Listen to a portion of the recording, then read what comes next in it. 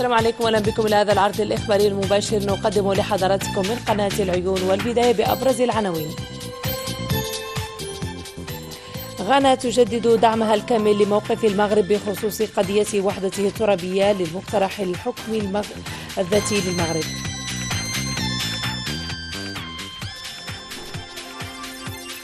ووفد عن مجلس جهة الدار البيضاء سطات يقوم بزيارة لمدينة العيون للقاء نظرائهم عن مجلس الجهة.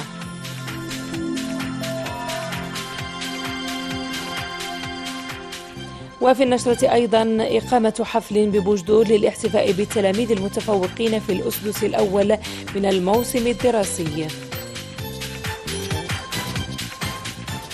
أهلا بكم. بعث صاحب الجلالة الملك محمد السادس برقية تهنئة إلى صاحب الجلالة السلطان حاجي حسن بلقية سلطان بروناي دار السلام بمناسبة العيد الوطني لبلاده. وأعرب جلالة الملك في هذه البرقية عن أحر التهاني وأصدق المتمنيات لسلطان بروناي دار السلام ولأفراد أسرته الملكية الجليلة بموفور الصحة والسعادة والهناء ولشعبه الشقيق باضطراد التقدم والرخاء.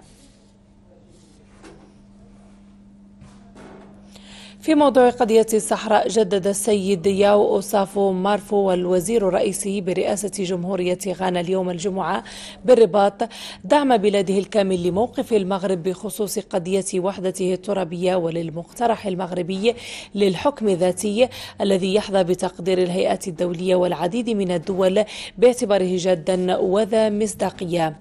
كما جدد المسؤول الغني خلال المباحثات التي أجرها مع رئيس الحكومة السيد سعد الدين العثماني دعم بلاده لكافة مبادرات المغرب الرامية لاسترجاع عضويته في مختلف الهيئات التابعة للاتحاد الإفريقي. تقرير في الموضوع لعياد سرتي.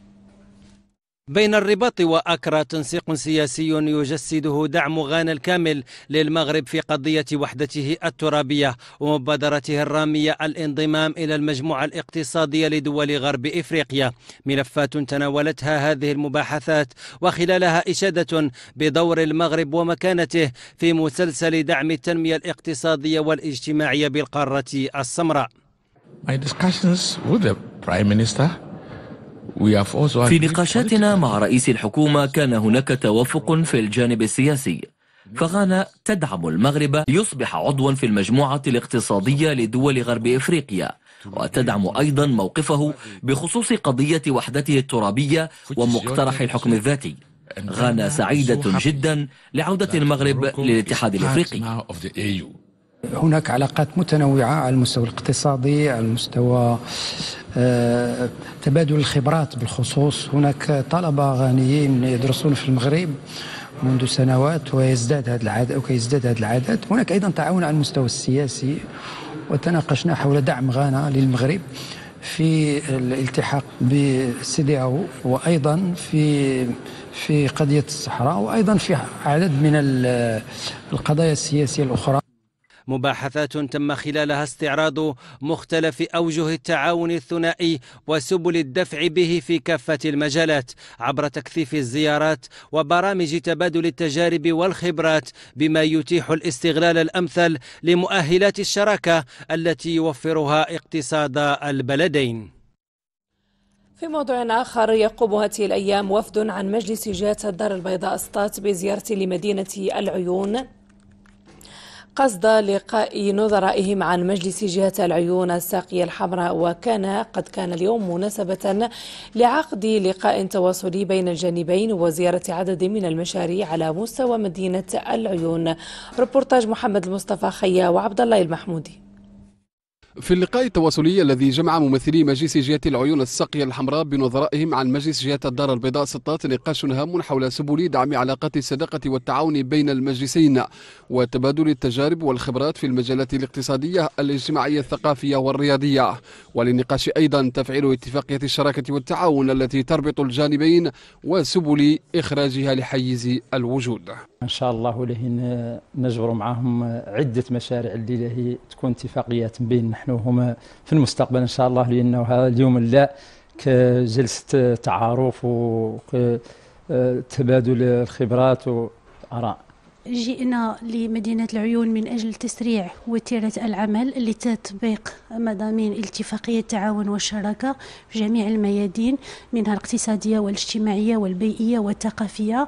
آه، إضافة إلى المجال الزراعي. آه، والعديد من الميادين التي سوف تستفيد منها الجهتين من خبراتهما من من وطاقتهما كذلك. وخلال هذا اللقاء التواصلي اطلع وفد مجلس جهة الدار البيضاء سطات على المجهودات الهامة التي تشرف عليها جهة العيون الساقية الحمراء في المجال التنموي وكيفية تشجيع الاستثمار ودعم الأوراش والمشاريع الكبرى على صعيد جهة العيون الساقية الحمراء. هذه الاتفاقية جد مهمة لأن جميع اللجان المكونة للمجلس آه، تسهر الآن على وضع واحد البرنامج اللي وتفعيله اللي تم الاتفاق عليه واللي هو لا يهم ساكنة العيون آه، جهة العيون الساقية الحمراء بالخصوص ويهم كذلك آه، جهة الدار البيضاء الكبرى. هما عندهم الدار البيضاء سطات كل المشاريع الممكن إنجازها في هذه الجهة يمكن إنجازها أو إنجاز نظيرها في جهات أخرى بطريقة أو بأخرى. نحن رؤساء اللجان الدائمة متفائلون جدا. وجدنا واحد الروح ديال التعاون واحد الروح واحد الرغبة في العمل عند نظرائنا في هذه الجهة رؤساء اللجان الدائمة بمجلس جهات العيون الساقية الحمراء. ممثلي مجلس جهة العيون الساقية الحمراء والدار البيضاء سطات وفي ختام أنشطة اليوم أشرف على عدد من الزيارات الميدانية لمشاريع مختلفة على صعيد مدينة العيون. في مجالات البنى التحتية والتجهيزات الأساسية والصناعة التقليدية والشأن الرياضي.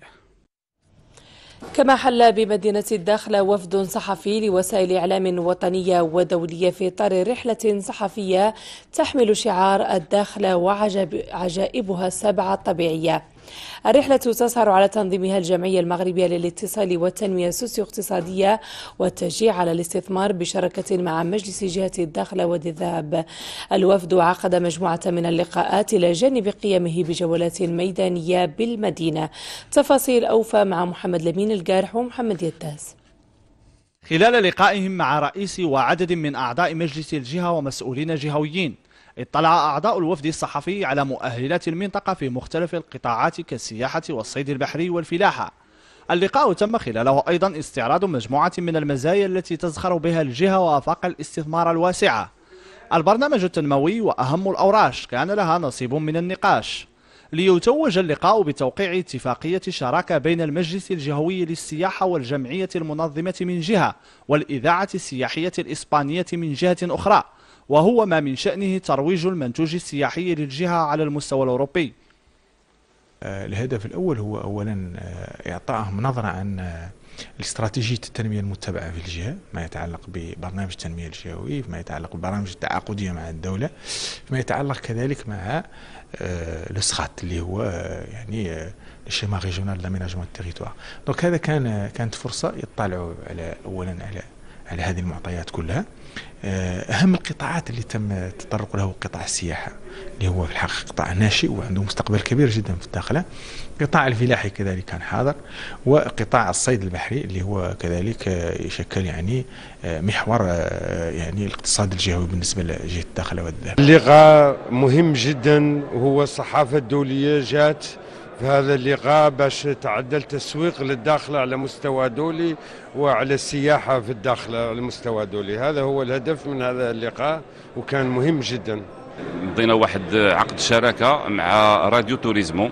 راديو توريزمو هذه واحد واحد الإذاعة آه، أوروبية المقر ديالها في مدريد وعندها les antennes partout في l'Europe لترويج المنتوج السياحي.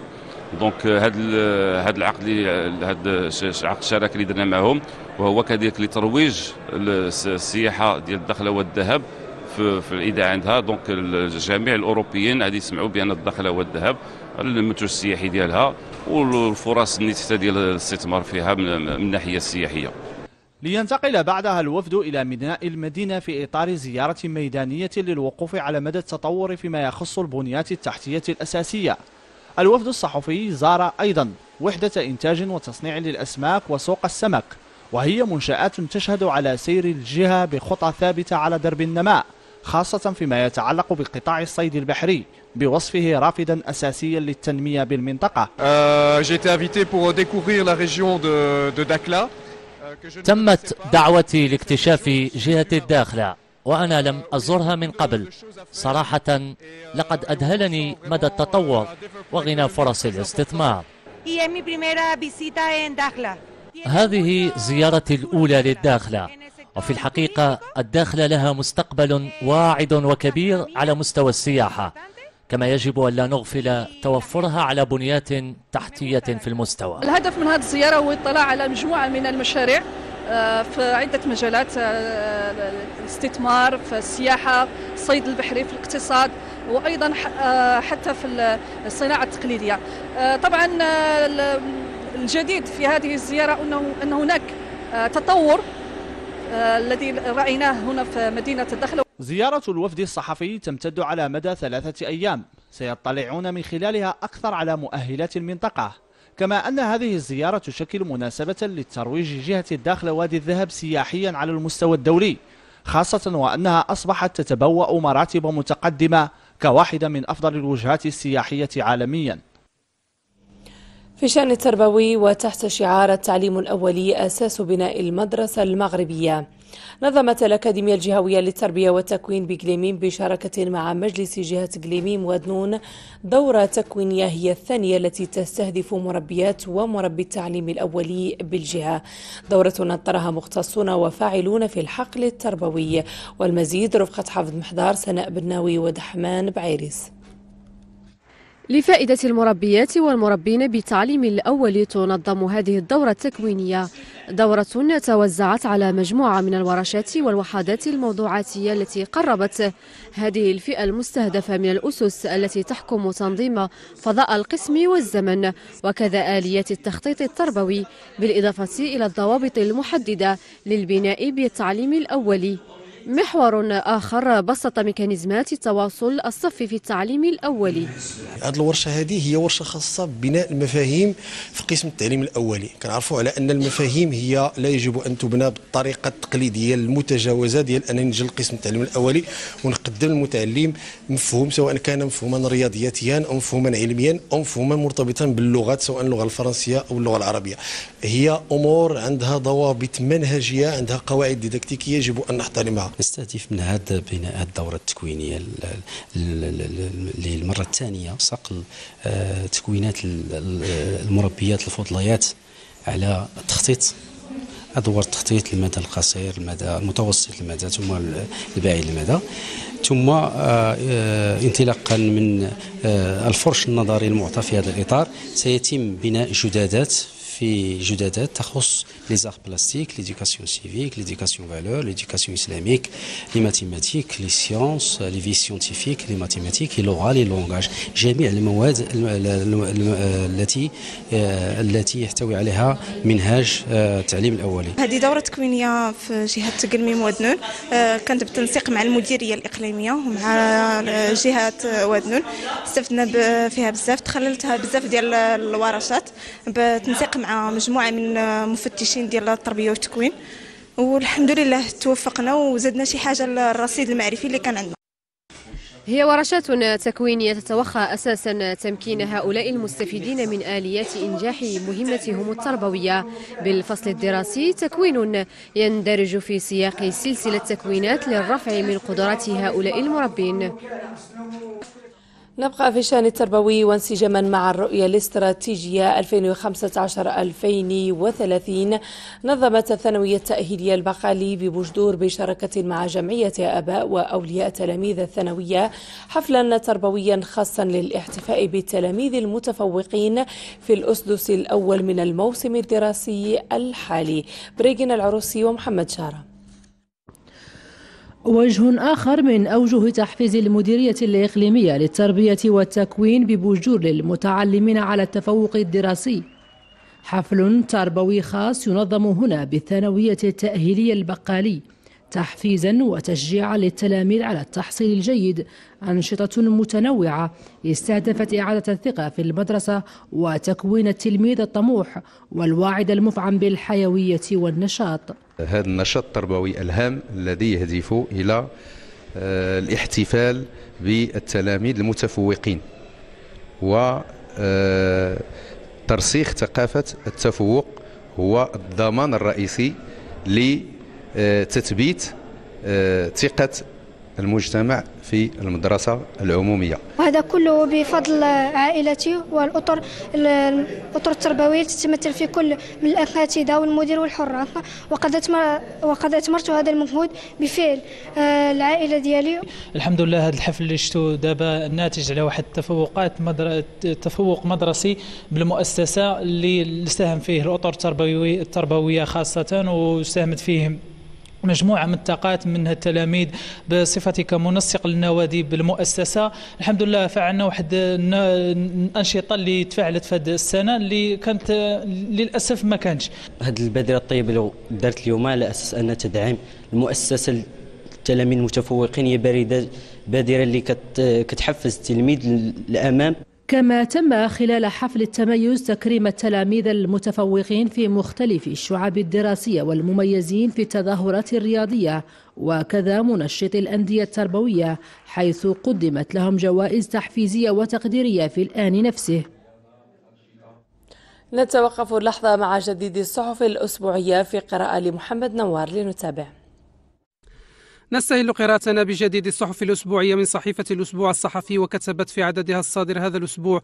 أكد الرئيس الأول لمحكمة الاستئناف بالعيون محمد البار أن المحكمة بثت في 3668 ملفا خلال سنة 2017 من بين 3836 ملفا رائجا في الشعبتين المدنية والزجرية. وأضاف البار أن هيئة المحكمة تمكنت سواء على صعيد الرئاسة الأولى والنيابة العامة من تصفية جميع القضايا القديمة. وأضافت الأسبوع الصحفي أن المحكمة تمكنت أيضا من تقليص معدل عمر القضايا مع السهر على تحسين وتجويد المقررات القضائية مبرزا أن السنة المنصرمة تميزت بتخصيص خلية من كتابة الضبط لتسريع عملية التبليغ مما ساهم في تقليص آجال البث في القضايا المعروضة على أنظار هذه المحكمة. صحيفة جودا الإلكترونية كتبت من خلال تتبعها للمراحل الأخيرة لاتفاقية الصيد البحري بين المغرب والاتحاد الأوروبي المرتقب. تجديدها صرح بعض المنتخبين والمستثمرين بجهات الصحراء لجود حول أهمية تجديد الاتفاقية بالنسبة للساكنة والمنطقة حيث قال رئيس فرع الباترونا بالصحراء ومنتخب ببلدية الداخلة أن المنتخبين والساكنة واقفين بالمرصاد للوبي الجزائري الذي يسعى لعرقلة هذه الاتفاقية. صحيفة برلمان كوم كتبت في آخر مستجداتها الإخبارية أن بحارا لقي مصرعه يوم الثلاثاء المنصرم على متن قارب صيد تقليدي غير قانوني بسواحل قرية الصيد لا سارغا وذلك إثر إصابته بسكتة قلبية.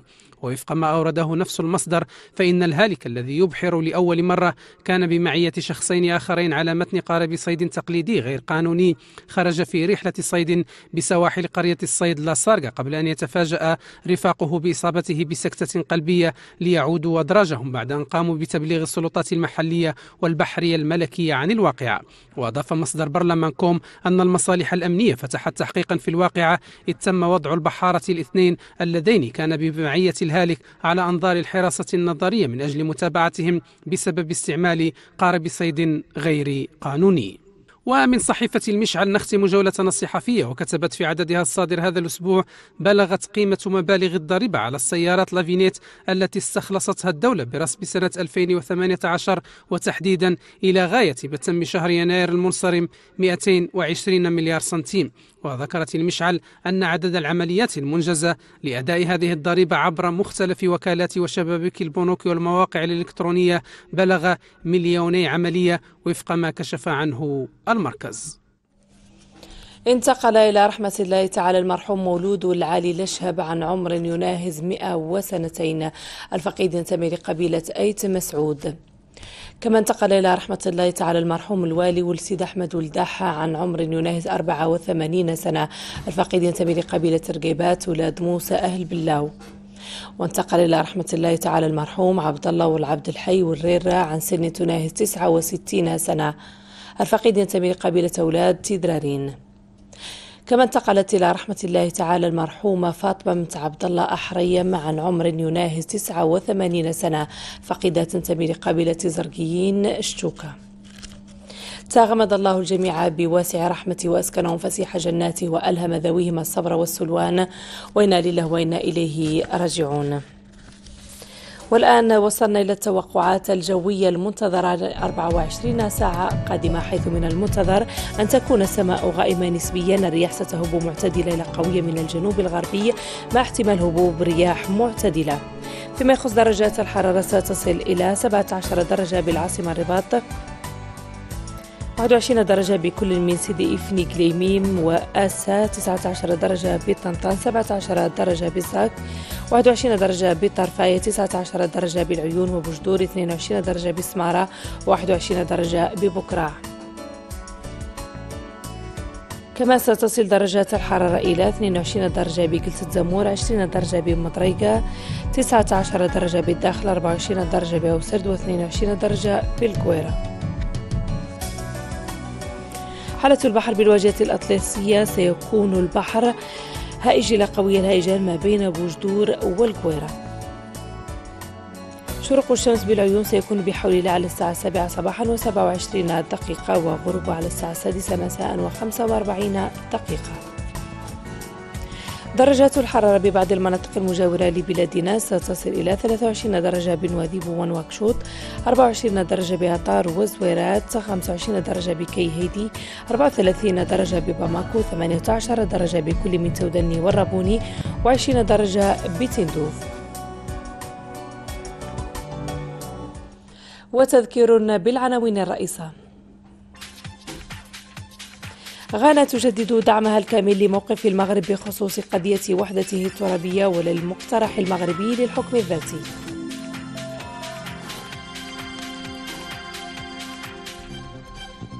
ووفد عن مجلس جهة الدار البيضاء اسطاس قام بزيارة لمدينة العيون للقاء نظرائهم عن مجلس الجهة.